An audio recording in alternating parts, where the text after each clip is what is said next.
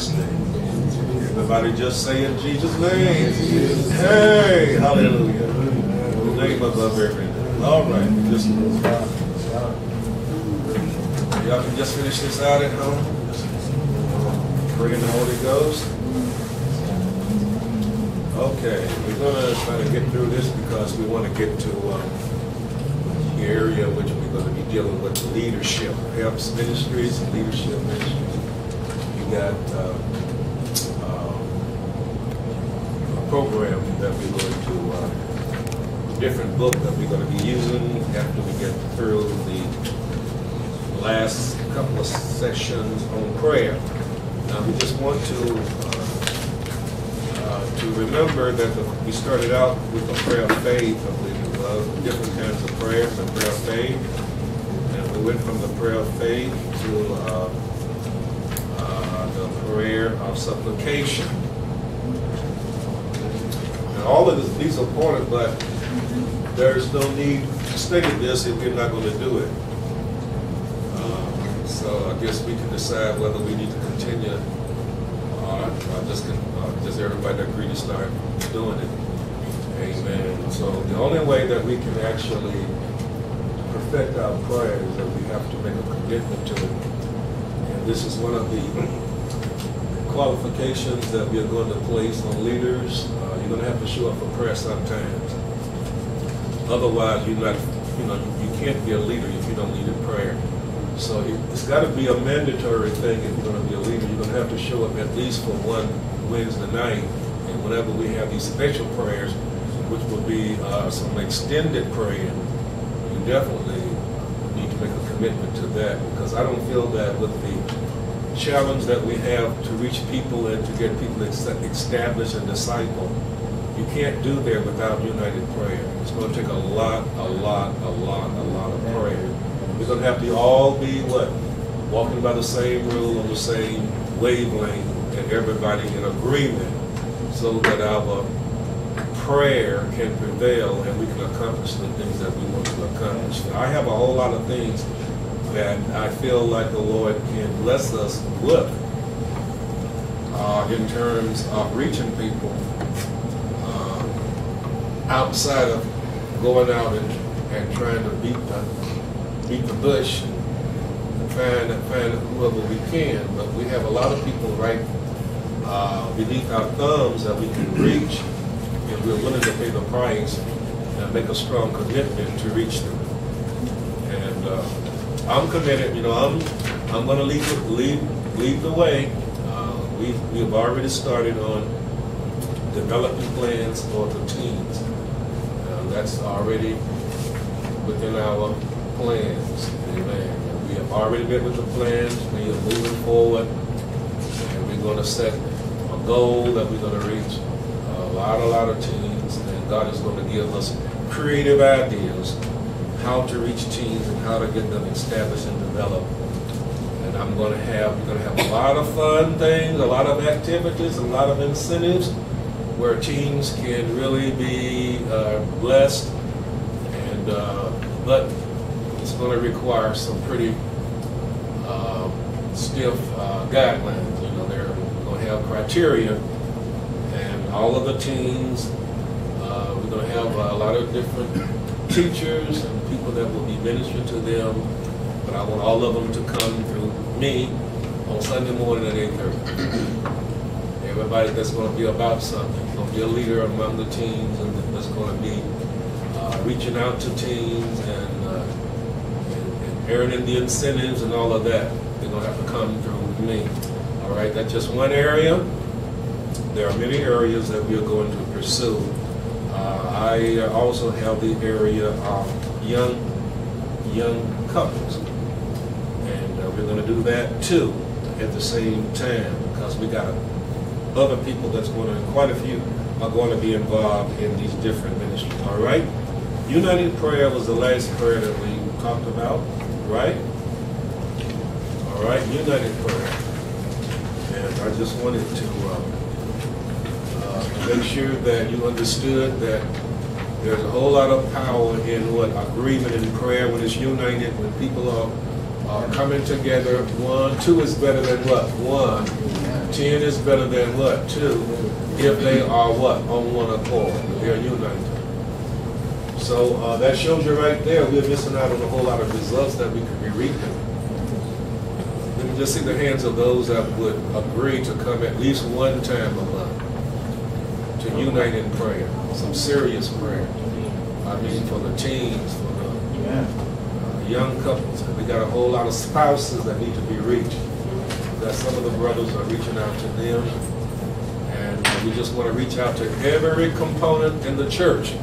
It's going to be a lot to do on one-on-one, a lot to do in group settings, and a whole lot to do collectively as a body. Revivals are finning.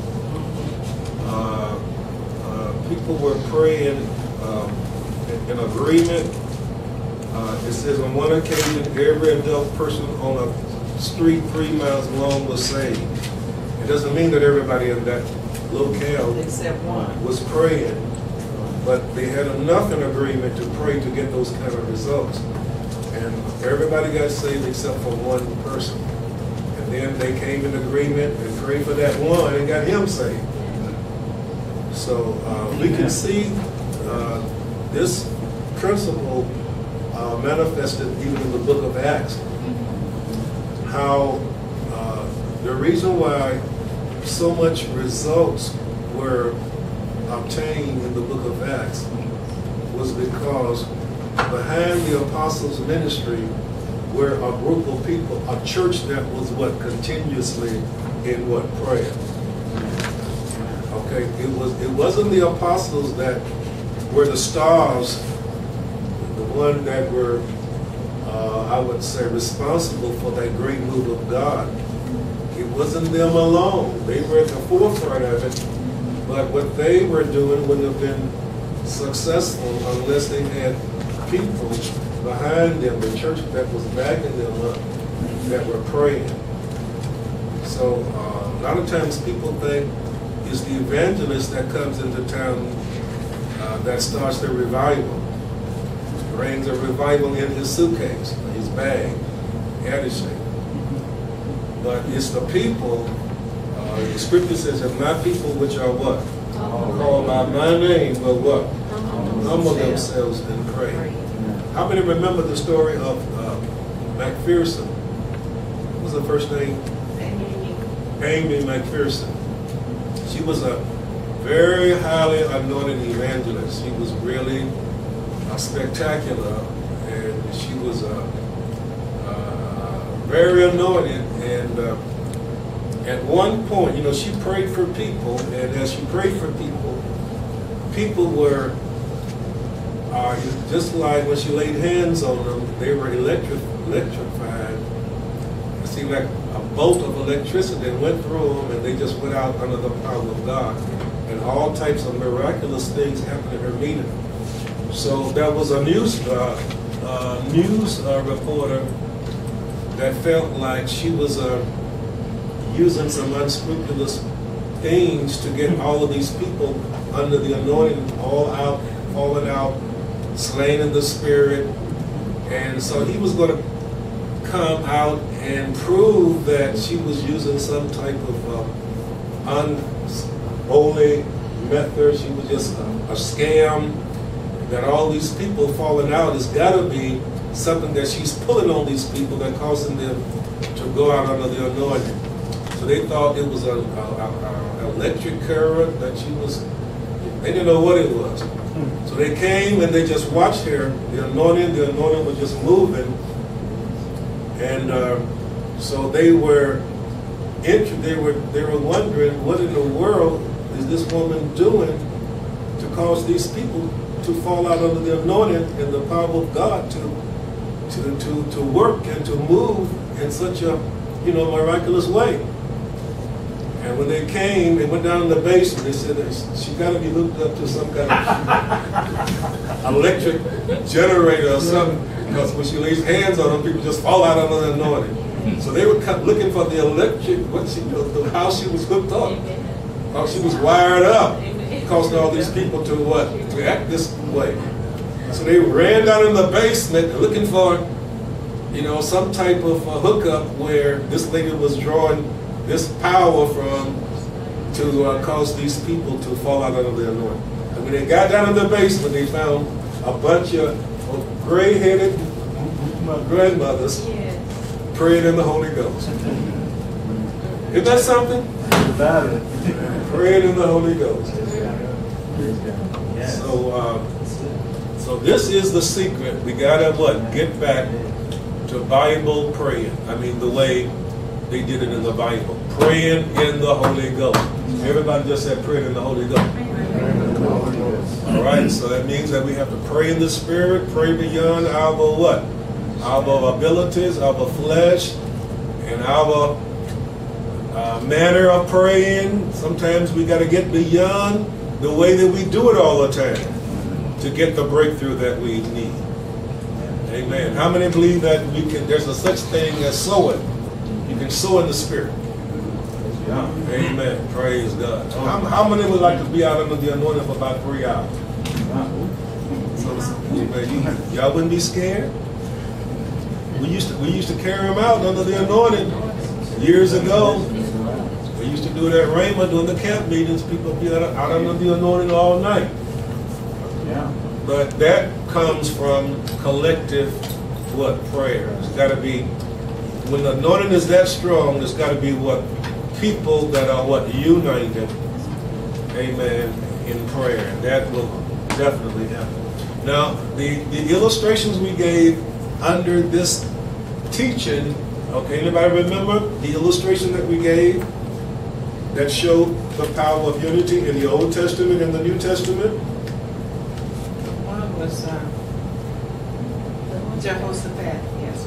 Okay, now was that miraculous? Was that miraculous? Uh-huh. Absolutely. All right, was that the result of Jehoshaphat? He was a great king.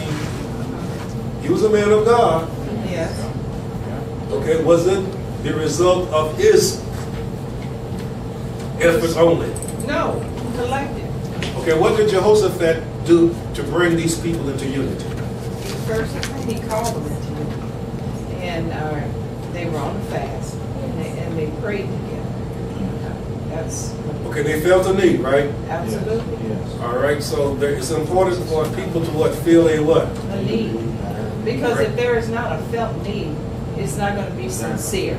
All right, And if it's not se- sincere, it won't get beyond the ceiling. okay, how do we get to the point where we have a felt need? That's the, that's the question. Now, we can come together and pray, if we don't have that felt need. Well, how do we get a need? Well, you know, if, if, if a person, to me, if a person is unable to pay his electric bill, and that mm. person tells me, hey, you know, I just don't have the funds to pay my electric bill, and they're gonna turn my electric off. To me, that would be my focus to prayer on his need. He would have a need. He'd say, "I- well, I need to have this answered by Thursday. So for me, I would have to go into my prayer closet and pray that God delivers him by Thursday with a specific need Right, okay. to pay his bill. All right, all right, anybody else? That's good, good, good. I think Bunda, Jehoshaphat and them seemed like they was under pressure because they were going to really go into battle, and they recognized that they gonna need they needed help, Okay, and so they had to call people together to you know get God assistance all right, on get him to be moved on their on, on their behalf. all right. They were at the point of annihilation, right? Yeah, they were, they were, the armies coming against them, there were three, uh, Moab, Ammon, and all of them coming against them. And they were small in number. And it, it was like, you know, um, this is a insurmountable chance for us. Okay, We've got to have, you know, we've got to bring the people together. And uh, if God, God doesn't intervene on our behalf, we're annihilated, you know. We're just going to be destroyed. But uh, at first, they were fearful. If you look at the account, there was fear initially.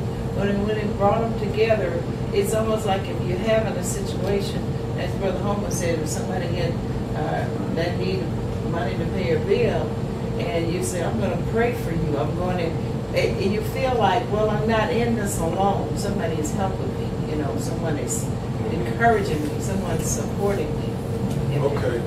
Now, what are some of the situations around us, Brother Holman mentioned one, people that have financial challenges, you might can uh, come to the point of identifying with people that have those needs. What are some of the, the needs that we should be concerned about? Uh, uh, Things that's happening around us in our nation, uh, in our world or in the spiritual arena, in our church? What are some of the conditions that should drive us to seek God until we can really begin to, to feel me. these needs like we should?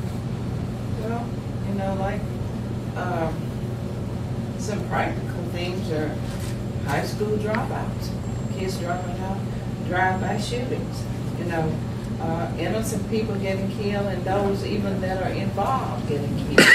You know, those are some concern.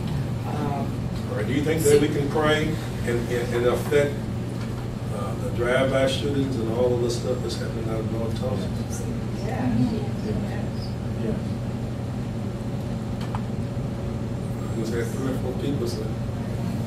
Oh, yeah. All right? Well, I think you, I think you can pray, but also you have to get involved with people where they are. Um, I was just thinking about today, I was in the barber shop, and a, young man started talking to me, and so we started conversating, and um, his last name was Mason. And I said, uh, "Do you know?" Uh, uh, he was telling me what school he went to. He was a real friendly guy, Trey Mason. Uh, Dwayne. you know Trey? Trey Mason. Because I said, you know Treasure Mason, but the point I was trying to make Oh. is that uh, he said that's my cousin, uh, Dwayne's uh, brother. I was talking to him, I didn't know who he was. And so while we were in the barber shop, and so I think to answer your question, uh, prayer definitely helps, but when you can get amongst the people and you're out there, you can begin to feel the felt needs even more. And you're available to people because they started talking about the Bible, and you know, they were saying a guy came by and they were trying to disprove the Old Testament and New Testament. So they were really hungry for the Word. So I think you, you can pray. You can't isolate yourself and say pray for the people who drive by, but you have to get out in the community and get out there where the people are hurting and begin to talk to them and see what's on their mind, what, what are their concerns, begin to pray with them and love on them. And then if that begins to happen, you develop relationships and maybe the things that they were into, they don't want to do those things anymore because you begin to develop a relationship and feel their needs. And so I think it's a multifaceted approach. You not only pray, but get out there too and see what's going on in the community. Uh, Yeah, Gotta put legs to your prayer. yeah. I Because in, in most instances, I think probably everybody in here knows somebody who has some kind of sickness or illness. So, you know, if, if there's needs, I mean, simply from that alone, I mean, everybody knows somebody that's ill. Yeah, So- you know, whatever that you're gonna put uh, investment of time of prayer into and put the the energy into prayer, and you should parallel that with some type of activity behind what you prayed about. Yeah, Because, you the know, legs. yeah, well, you say, you say legs, so if you say, hey, we're gonna be here every Monday and we're gonna pray about whatever, and you gotta have another day or another something, then we're gonna do something about what we just Right. prayed about. Because otherwise, it's not going to manifest too much. Uh, God's not gonna take on all the work that's going on around here. That's why he has us on the ground. If we pray, even if someone say, hey, there's a bunch of sick people, we're gonna pray for the sick on a certain Right. day, then uh, after the prayer, then you should go visit the sick or go take the word to the sick or something to make that thing Hospital, manifest. to The individual homes. Yeah, to make that thing manifest. That's why it should be specific. Yeah, yeah. This is what we're really talking about, because Yeah. when you know, know an individual that's sick, Mhm. and you deal with them and you come in contact with them, then you have a personal rapport with them already. So, I mean, the prayer of agreement, of course, we know prayer crosses all boundaries of space and time. Jesus healed the centurion's daughter, and she wasn't even there. So it's, it's not upon what we do, it's, it's because of the prayer that Christ said he would do. It's not us. We can pray, and if God honors our prayer and have it held heartfelt, I don't have to be there. So that, that, but, but we already have the rapport with the people that has specific needs, that, that's how you pray, I believe. Right, okay.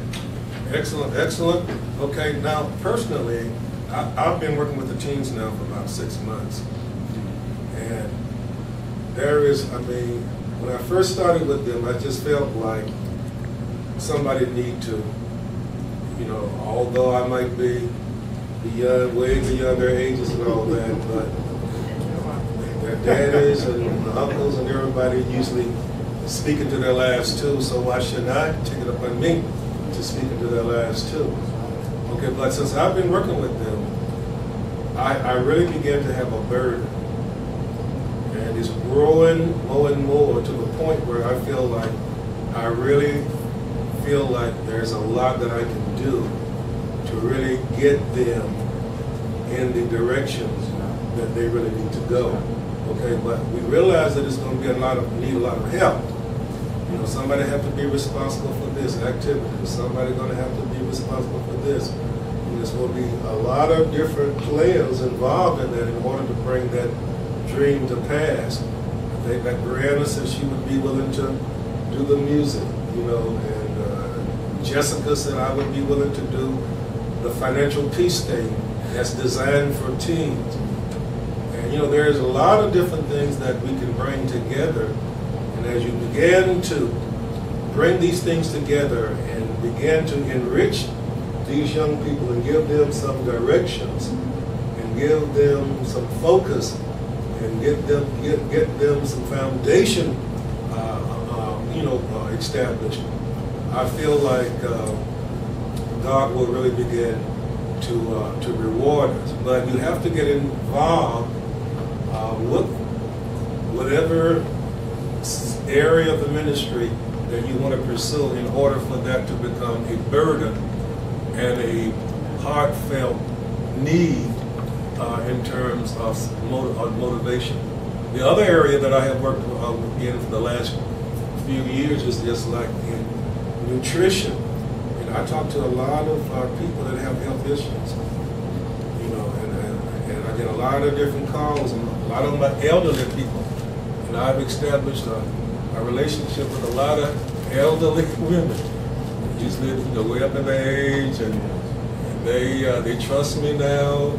I send them books to read, uh, profession stuff, and healing stuff, and, and you know, once I develop that relationship with them, you know, that all of them are improving from the efforts, you know, uh, that I, I shared with them. And um, so it's uh, it's coming to the point now where uh, they're beginning to trust me, and whatever I recommend, whatever I advise, and whatever I say, they are they are really on board. So um, you know that's a good way to reach people for the, for, with the gospel. Meeting the need, and as you begin to reach out to them, then you begin to get uh, the passion, the burden, the the drive, the motivation, really to reach out to people not only in the area of physical healing or natural healing, but in the area of, of the word, the spiritual healing as well. And uh, as I said Sunday, that was the uh, uh, uh, the results have been you know forthcoming, and uh, the bishop has noticed all of this in his jurisdiction, and he said that uh, we uh, we want to de- uh, devote a whole day over to health and wellness. I mean, night only have this meeting once a year. I mean, and all these people come together. He said that this year we just want to have one day that we'll just devote to people getting healed or well naturally. And, and so if I hadn't been there to present it to him, he never would have known. And he wouldn't have known about the nutrition, the supplements. He'd never known about the water. He'd never known his wife had cancer. You know, all of these things are beginning to be impacted by this. And now he's, you know, he just, he's open to whatever ideas I have. And uh, so he's just not, you know, just one uh, jurisdiction or bishop, but it's, you know, just going from one jurisdiction to the other. So um, we just want everybody to key in or tap in on some area. It might be the, the young single women. Maybe, the women will begin to figure out something that they, can- they can reach out to just single women. Wouldn't that be good? Single men. And you know, and my heart is really on the single couples. I mean the, Single uh, couple. I mean the, uh, the young couples. The young couples, because I feel that we can direct them to the, you know, be, be concerned about their children, be concerned about their finances, be concerned about their relationships, be concerned about them, you know, developing spiritually. So that's, you know, so we want everybody to begin to think about what area you really want God to use you, and then pray and ask God to give you somewhat creative ideas as to how you can be effective in reaching out to people. You know, I was thinking about teenagers going into homes, just playing these DVDs uh, on heal, on, on, on nutrition. You know, that's Is that something they want to do? well, if, if it's going to be some money behind it, it's something they want to do. Uh, but that's the biggest hindrance problem we have with nutrition. We've got all this information, and all of it is on DVD, and nobody's going to watch a DVD. So who who will go in there and show it to somebody? You know, that's you know. Who would have a slumber party? Who would have a slumber party and show the DVD? That's right. Slumber party. Yeah, yeah. I mean, have a pizza party with the kid. Hey man, I want you guys to check this out. Hey, Well, that. well, I, I was thinking about, you know, that's well and good, but the, the teenagers could go into homes of families and show. That's what you want them to do, but. Yeah, we'll, well, well, They want to if if I offer them uh, a, a, a point, y'all know what a point is. Amen. Amen. Y'all know what a point is? Yes, I sir. can imagine what it Yes, Got a dollar sign behind it? Hey, that point is a motivated stick. All right, so. Could some dollar signs, but that's. Uh, but, but there are, there are, there are a whole lot of things that we can do as a ministry. And we want to start next Tuesday, getting together. And I know the women are going to come up with something. Is that the meeting? I don't know when y'all's meeting is, but I will. the Wed- Wednesday, meeting, regular Yeah. We're, we're gonna meet, We're going to meet this coming. we're gonna meet this Tuesday because we The- wanna the get something going. Yeah. that's Yeah, we wanna get something- Yeah, we're not. There you go, there you go, there you go. We're gonna meet together and uh, we're gonna get things rolling. So The teens will really begin Well, to. we'll let the men kick it off. You all should be. Oh, yeah, Uh, we'll, we'll show You the like to women. pride yourselves about the head anyway, so. We'll show the women how to do. We'll show. But the women, we wanna have you, y'all gonna have a night too, right? Sister Denise, you still over there? I'm here. All right. Yeah, we'll have a night. But, but we gotta get focused, Brother Brother Hope said we gotta get focused. That's what the pros, we're gonna be together. We're gonna get focused. I mean, but that, that's the beauty of, I think, the gospel because it, it- it encourages and, and actually we take Christ wherever we go. Right, right. So if we recognize and understand that, you know, the Lord is with us wherever we go. Right. And we, we, we can be peaceably toward people and we can mm-hmm. establish a rapport with people. Right, there you go. it's, it's really not, I mean, it's just simply trying to love on people. Right, there you go.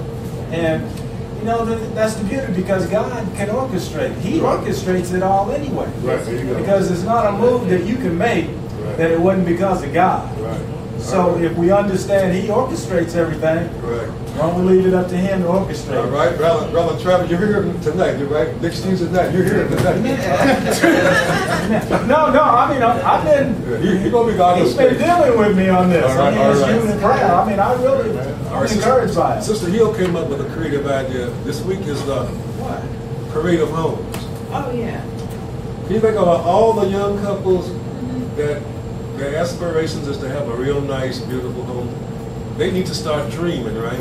Yes. Amen. Rebuilding. Amen. See what, they're building those homes for someone, and they shouldn't be all for the people on the south side. Right. Yeah, So, somebody so can do it. I was, we were thinking about trying to invite some of the young, young. What you say, Brother To go out with us. For the people with the money to buy them, that's all. And you- Okay. And you start looking at one so you can park your That's Bentley right. in the dri- That's right. I need to look at one. Your Bentley. That's right. All right, now here's the assignment now, because uh, the direction that we're going, we definitely need to tap in onto the other two areas of prayer. The prayer of intercession. This is gonna be a biggie. We're gonna have to really master this. And the other one is praying in the spirit. These are some areas that we're gonna have to master in prayer in order for us to be effective in what we are going to be pursuing. So I want y'all to work through all of this material. So, uh, see, it's very important for you to be kind of like a self-starter. You don't have to have somebody to push you. You know, many times, like a wheelbarrow, barrel, uh, uh, saint, they won't go no further than they are pushed. Uh, you, you- you have to have some initiative, and the word is really designed to uh, to motivate you to do some things without everybody having to tell you everything to do. Amen. Creativity is something that God gives all of us. All of us got it. And we got to tap into creativity. So let's work out. I mean, just don't look at it at the last minute. Just work through this. And, and on pa- page 27, 28, 29, all right, those are lessons that you need to work through. Now, this is going to affect us, uh, direct us, and fortify us in the efforts that we're going to be putting forward. We need to be well grounded in what? Prayer. Well grounded and established in what? Prayer. That's the reason why we need to learn how to pray with what all different kinds of what? Prayer. Okay, well, I'm excited about the men, and I'm excited about my, my, my teens. I'm let the young ones that do all of the the, uh, the the things that relatable, but I'm gonna I'm gonna relate to them with the word. I'm gonna put that word on them, and uh, that will be the serious moment. But we'll have a whole bunch of what Fun moments. but I'm gonna have the serious moments with them. Amen. How many how many like the way that they performed on the t- Freedom True? I mean, they, they, they run around us, don't they? Well, let me say this, the teens also, I know a lot of people want to see kids and the teens up front for, but on our meeting on Monday night, uh, just to give you an update, they expressed an interest in also doing a service. And so they want to, uh, be able to, uh, do praise and worship, the scriptures, bring a message. And so I think that that would be great for them to begin to reach their friends. And, you know, when you begin to do that and your friends are coming, hey, you want to be prepared so it makes you study more, it makes you delve into the word more. So I think that uh, they, they, they're excited about some things that they're going to be doing. So uh, I'd like for you all to make sure you support them and, and uh, really encourage them because, you know, kids, they can really reach out to their friends and uh, the Yeah. gentleman I talked to today, he said. families too. Yeah, he said he'd been here before, and he said, it the little teen, the teenage guy, he said, you got a nice church, so I was thinking, I said, okay, ooh, you know, kids are okay, and he had a sister that goes to Carver, he had another one, so it was like a family of four, uh, they were all in barbershops, and so I, it made me bigger than that, but, uh, so, again, creative ideas and reaching people, our young people are excited about doing things. All right, all right. Okay, uh, I have these involvement things, but I'm, I'm, I don't like to pass things out and, and take them up later because you never get them back quite just right. So I think that we'll do it Sunday after the women, if they don't have us on cloud thirteen after, after the end of the service. We'll be able to fill these out and wait for, our sister Kim is here tonight. She's gonna join the, uh, the, the, the music. She's serious. She's, she showed up on Wednesday night. She's, she's dead serious. All right. Isn't that good? All right, Sister Kim, get you to fill out her application. All right, everybody fill out the application. We're gonna start this Sunday. And uh, we're gonna let you go. God bless you. And uh, thank y'all for coming. And uh, y'all be thinking about the area of ministry that you want to commit to because we are definitely going to begin to move forward. God bless you, God bless you, God bless you. Amen, amen. Well, the church, I know you work late. We